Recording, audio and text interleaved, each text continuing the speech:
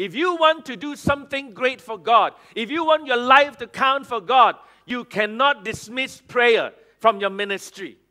Prayer is not an add on, prayer is not an afterthought. If you want God to bless you, if you want God to move in your life and make you know, whatever you do last and have any particular significance, prayer is an integral part of our ministry. Oftentimes, we try to change the world through our own efforts, through our own you know, uh, principles and connections and leadership, and we leave God out of the picture. We try to serve God without receiving His help. But not Nehemiah.